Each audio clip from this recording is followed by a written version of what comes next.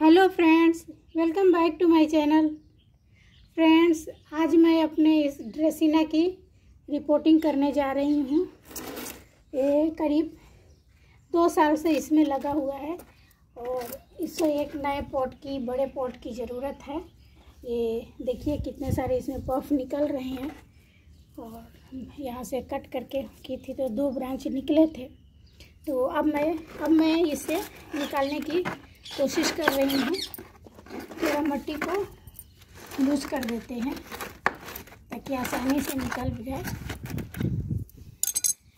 Okay friends देखिए।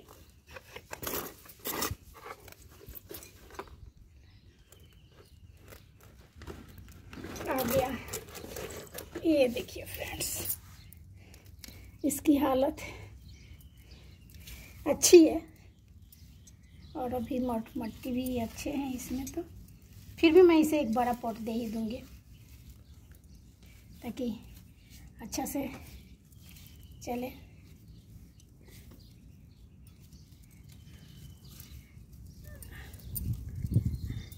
ड्रेसिना का plant मेरे पास थी, तीन थे फ्रेंड्स, लेकिन ये धूप काले में दो, समर में दो चले गए।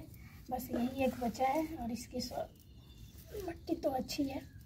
और मैं इसे इस ये मट्टी के गमले में लगाऊँगी। इससे मैं बड़ा पॉट दे रही हूँ। देखिए इसका ड्रेनेज होल है। और उसको ड्रेनेज होल को इससे इससे ढक दे रहे हैं। और इसकी पॉटिंग मिक्स की बात करें तो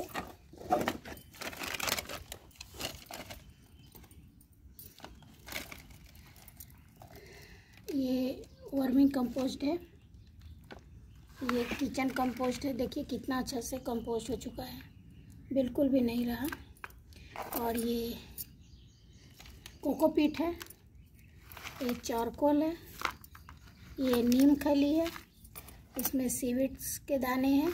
और ये हमारे पुराने गमले की मट्टी है फ्रेंड्स अब इस पर मैं अपने पुराने गमले की मट्टी को यूज़ कर रही हूँ। और इसे अच्छी तरह से मिक्स कर लेते हैं।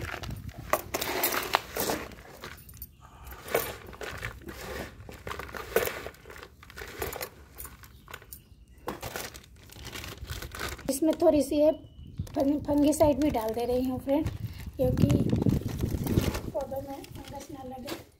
ओवर वाइटनिंग के कारण बरसात का पानी तो हो ही रहा है। और ये पूरी तरह से मिक्स हो गई। पोटी मिक्स थोड़ी सी पोटी मिक्स को. और सूखे पत्ते भी डाल दे रहे हैं। कंपोस्ट होते रहेगा और गमले का वेट भी कम रहेगा। फिर ऊपर से डाल दे रहे हैं मोटी पोटिंग मिक्स पोटिंग मीडिया बहुत ही अच्छा बना है। और अब इसे रख रहे हैं। थोड़ा सा कम कर देते हैं।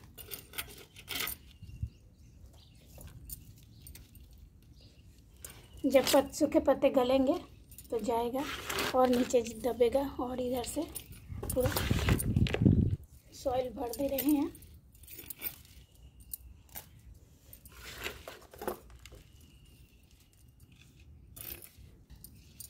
और इसे अच्छी तरह से हिला दे रहे हैं ताकि एयर पॉकेट हो तो निकल जाए। और इसे दबा भी रहे हैं साइड से।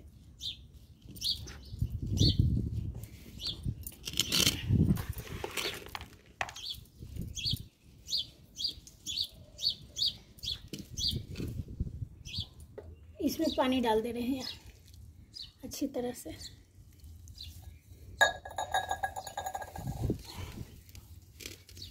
ओके बाय फ्रेंड्स अगर वीडियो अच्छी लगी तो लाइक कीजिए कमेंट कीजिए।